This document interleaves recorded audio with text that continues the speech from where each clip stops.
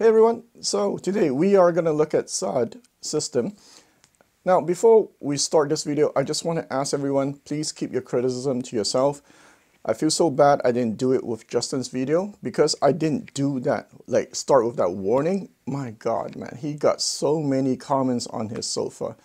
I, I feel bad for, for Justin. Justin, if you're watching, if I ever meet you, I will buy you a big lunch. You know what? I should start a Patreon account just to raise money so that I can buy lunch for people for, for all the trauma I caused them with my YouTube videos. So guys, please, for this video, keep your criticism to yourself. Don't force me to start a Patreon account. All right, so um, the video originally was with four system. In the interest of time, I cut out one system and I'll post that systems uh, in the future some somewhere with the other videos, okay? Um, also, sometime later this week or maybe early this week, uh, next week, um, I'm going to start a fundraiser to help raise money for the current pandemic. So I'm just working out the logistics right now. Uh, what I will do uh, to thank everyone is that I'll post a video every single day for five days in a row. So uh, stay tuned. Uh, if you don't have the notification bell on uh, on yours for this channel, make sure you click on it. And for those who are not subscribed, subscribe, right?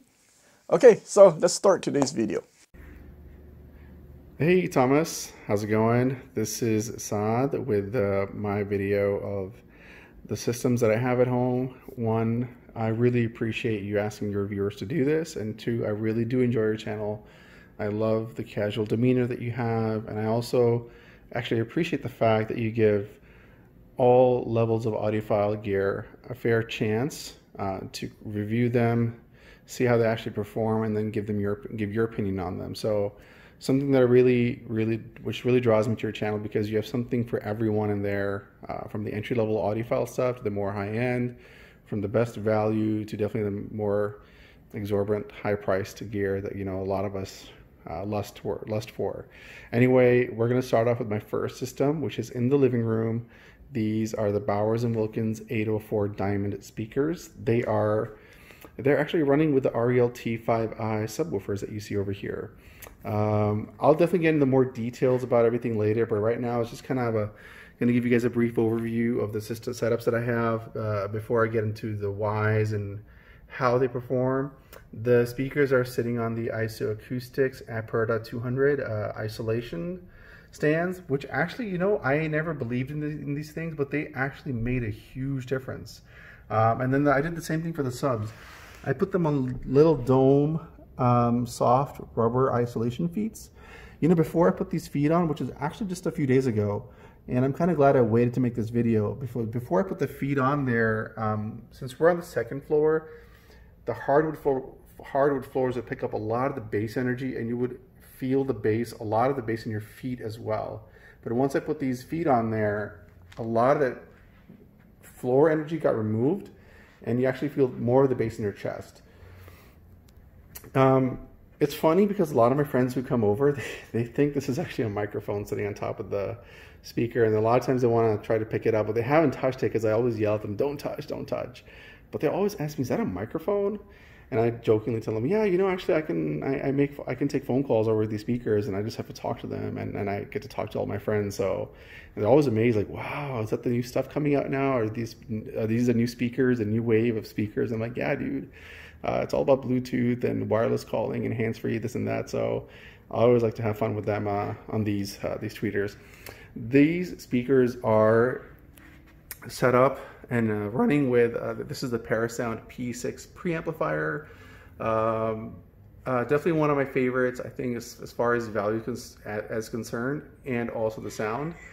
It's hooked up to a Rotel RB1582 MK2 power amplifier, which powers uh, 200 watts at 8 ohms for two chan uh, per channel.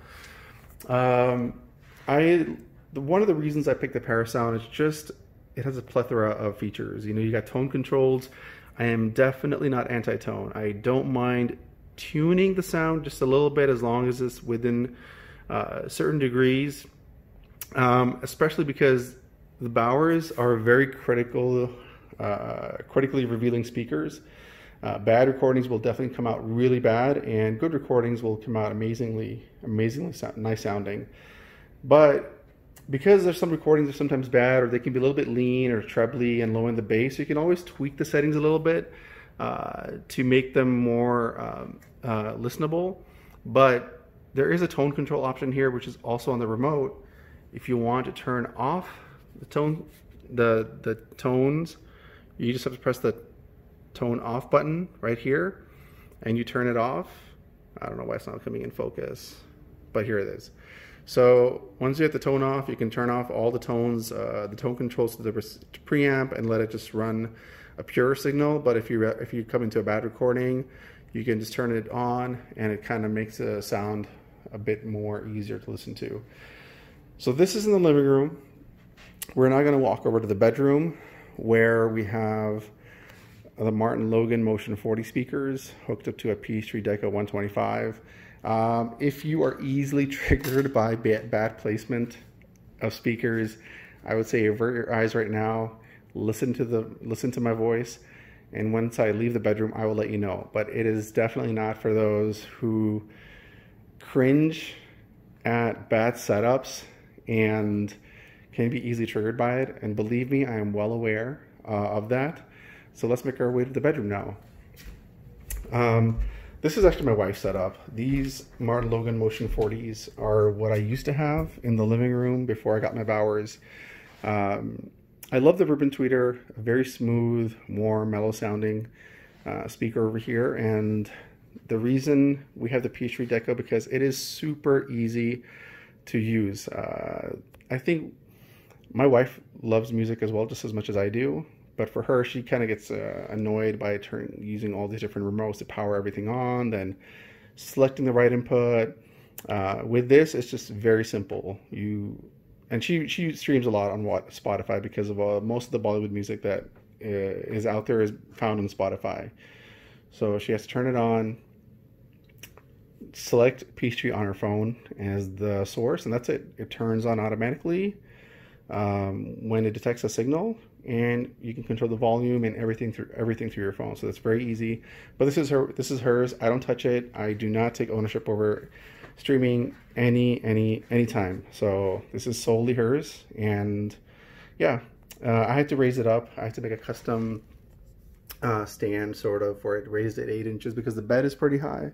So in order for the mid-range and tweeter to be above or at around our ear levels, I had to raise the speakers up a little bit. But they still sound fine. Maybe a little less on the low end. The bass isn't that great, and you don't get the soundstage and imaging that you normally would in a more ideal setup. But you know, it doesn't matter. This is not meant to be a critical listening uh, setup. I was thinking of getting bookshelves and subs, but since I already had the towers, I had these. I'm like, well, it makes no sense to like get rid of these. I really love them. I'm a huge fan of them. I've had them for years, and I didn't want, did not want to get rid of them. So I moved them to the bedroom, found them a new place in the house. Let's go downstairs now to the other setup, the third setup that we're gonna have, uh, that I have, which is mostly for movies and also music. But yeah, this is a living room setup. Um, and that's the main spot right there in the middle. That is the spot I use when I really want to sit down. At, at nighttime is usually when I really listen to these speakers. So that's when I'll sit down and listen to them. And then the kitchen's right there too. So it's great because if I'm working in the kitchen, making something, doing whatever, then these speakers are facing in that direction as well. So it works out real nicely. Let's head on downstairs. Now this system is actually, I would say, if I had to choose my favorite, and I'll tell you why, it will be the system right here. These are the Polk Audio LSIM 707s. Actually, the entire setup here is of the LSIM speakers, plus the, the subs are Martin Logan, Depth I, which I'll talk about in a second as well, but dollar for dollar, and in terms of performance, in terms of friendliness with different components, and just they, I think these work so well on so many different levels that they may not be the master of any one particular area when it comes to sound, but they definitely, I think, are um, like super strong contenders and performers just all around. I mean, great finish, beautiful looking speaker, um, great sound. They're not overly critical, So bad recordings are still listenable through these speakers. Tons of bass, good soundstage, good imaging, very clean, warm. So I can't really say, and especially at the price that I got them at through the Adorama deal. Adorama was running a bundle for these towers. Uh, the center channel that we just saw over there, the 706C, and two bookshelves that I have here uh, plus that Yamaha Aventage 3070 receiver. So these are running with this 3070 receiver. I do have a five channel Rotel amplifier that is sitting in the box. I didn't have I don't have space for that back here right now. It's really messy. A lot of wires. This is this is basically no limits area. Nobody goes here because this is all my gaming systems. A ton of wires running back here. The gaming PC, and then this is the Rotel RMB 1585 um, five channel amp at 200 watts a channel. This is the previous Harman Kardon receiver that I used to use in the, the, living room upstairs with the Martin Logans, but once I got the Bowers, I needed something that was better matched for those speakers. Even though I've used I've used this amplifier for eight years, uh, this one was a little bit on the brighter side and a little bit leaner for those for those speakers. Uh, with the, I use this with the Martin Logans, and it, I think it was a great pairing. Uh, it was a beautiful pairing. But with those speakers, I needed, I think Rotel did a really good job of bringing some of that warmth and some of that oomph and drive. And those are hard to drive as well. So the Bowers do demand more current. They are more demanding of power.